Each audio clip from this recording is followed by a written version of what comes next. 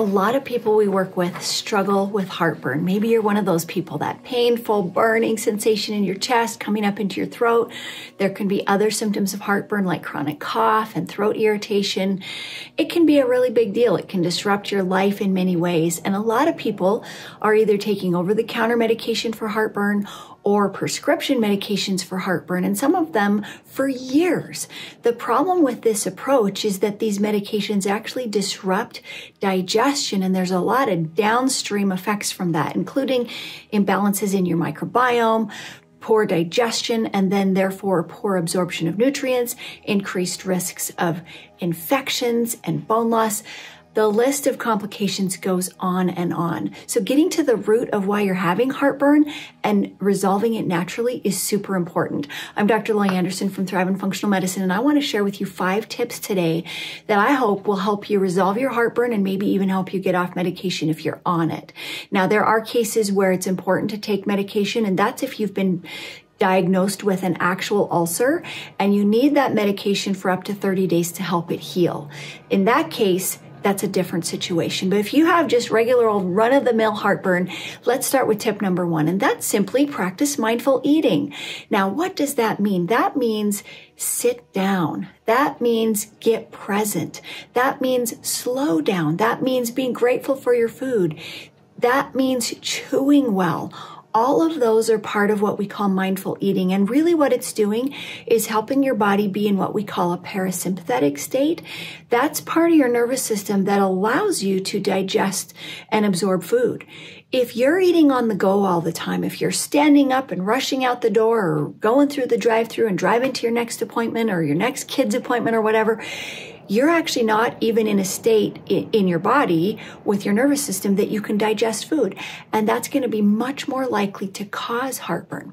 So if you can, we really recommend taking at least 20 minutes to eat, sit down, enjoy the time with your family, make sure you're thoroughly chewing, being grateful, breathing, all the things that are going to help improve absorption and digestion, which in turn can prevent heartburn. Because you see, heartburn is not too much acid. That's what most people think is that, oh, I have heartburn, I have too much acid.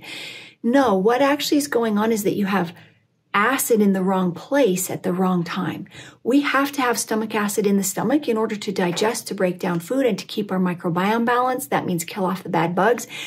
But if we have acid coming up into the esophagus where it's not meant to be, that's what's causing those symptoms. And that happens from rushed eating, amongst other things. Okay, so the first tip is mindful eating. Tip number two is checking my notes so I, so I don't um, get lost is water intake. Now, a lot of us drink our water or our fluid intake with our meal that actually makes heartburn worse because what that's doing is number one, diluting digestive juices and stomach acid in particular, and it's increasing the volume in our stomach, which is more likely than to cause that stomach contents and acid to come up into the esophagus. So when should you be drinking your fluid, your water intake? You should be drinking that in between meals, at least 30 minutes before or an hour after eating. Now, here's a pro tip. If you are feeling hungry in between meals, often it's actually thirst. We can confuse those signals sometimes. And so if you feel hungry, take a big drink of water first before grabbing a snack. So water intake is really important. You've got to hydrate adequately. We've done lots of videos about that before, but get that water intake in between the meals, not at the meals.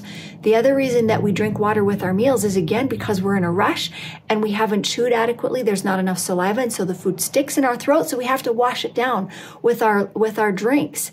That's a clue to you that you need to slow down, chew more, because if we adequately chew, we have enough saliva that everything's moistened and it goes down well without water. Okay, so that's number two. Drink your water away from meals. Here's number three, snacking. I just, I just touched on that briefly. Often when we're snacking between meals, it's it's a mindless habit. First of all, we're not really thinking about it, but often it's because we're actually thirsty. So again, if you feel like snacking, grab a big drink of water first. That can help. But then ask yourself, why why am I wanting to snack here? Am I actually hungry? If you're actually truly hungry, you maybe didn't eat enough at the last meal because you were in such a rush. All you did was grab a protein bar you need to eat a real meal. Okay. Snacking in between meals is a great way to cause heartburn because your body is continuously making stomach acid when every time you snack. Your body should be able to have rest periods where that all goes down and everything goes through.